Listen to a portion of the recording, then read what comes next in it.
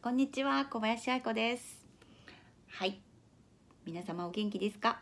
？2019年も本当間もなく終わりますけれどもいよいよ2020年が参ります。はい。えー、っとですね引き続きねあの願いを叶える設定ノートの使い方書き方あと幸せな生き方などに関してまああの本当ね別にあの年末年始だからお休みとかもなくあの普通にあのあのお伝えし続けていきたいと思います。まあ、あのお雑煮でも食べながらおとそでも飲みながら見てくれたら嬉しいです。はいえっと今日はまあね普段あの書き方に関してよくね設定ノートの書き方はあのいろいろお伝えしてきてますけれども、まあ、その書き方は皆さんね意識して書けるようになってきたかと思うんですけれども、まあ、あり方も伝えたよ伝えたよね。あり方はあそうそうそうあのあれかなあり方もまあ伝えてると思うのでまあいろいろ見てくれたらあのどこかで話してると思います。そう今日は言葉普段無意識じゃないですか先生でベラベラベラベラ喋って話あの言葉の使い方って。そう。そこに関してもねちょっと今日はお話ししたいと思います。そう。あの未来を作る言葉の使い方をしてほしいなと思うんですよね。あの設定ノートに書く時って何々あのしたいとかでもいいしあのするとかでもいいし何々したでもまあいいんですけれどもあの普段の言葉は本当に本当に私気をつけてほしいと思っててあのねなんだろうな、まあ、こう話してると分かるんだけど、まあ、このあの相手ね相手の人と話してたりするとあこの人やらないだろうなっていうのが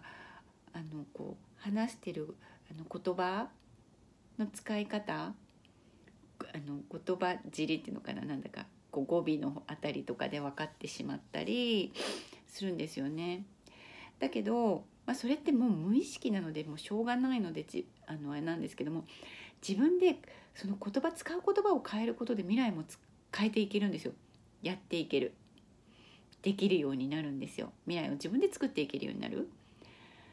なので例えばまあそうそうノートと同じように何々したいと思ってますってあるじゃない？普通に私何々したいと思ってるんだとかって言うのもいいんですけれども私たちな私何々するんだって断言しちゃう。先回り言っちゃう。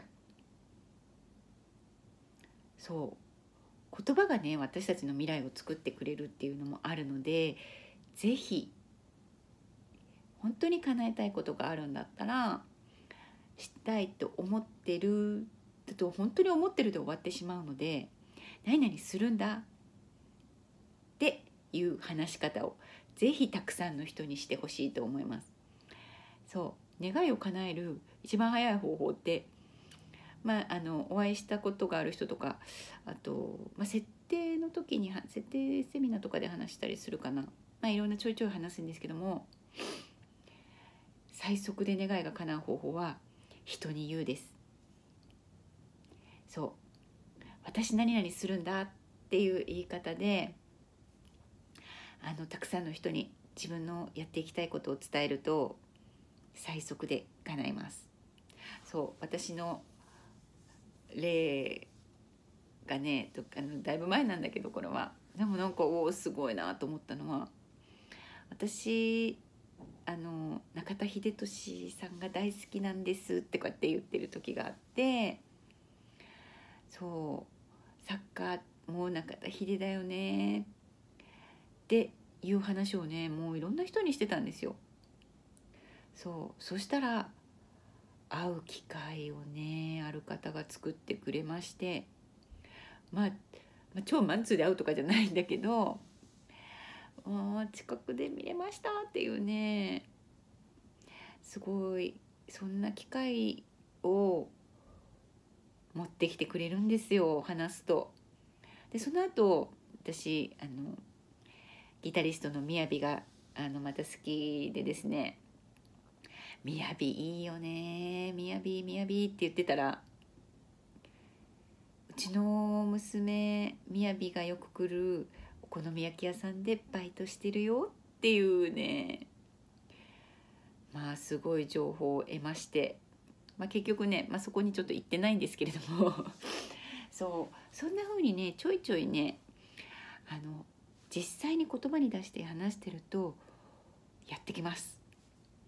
なのでしっかりとあの未来を作る言葉の使い方をしてほしいっていうのは本当に気をつけてほしいですね。あのやりますやります詐欺みたいなのってまあ本当にねそれって別に誰も迷惑かけてるわけじゃないんだけども自分自身をねにね罪悪感をね本当に積み重ねてってる行為になってしまうんですよ。明日これやろう言って結局やらない自分を作るのは自分じゃないですか。そうなのでね言葉の使い方から変えてみるとまた世界も変わってきますので是非是非試してみてください。はいでは今日はこのくらいでまたバイバイ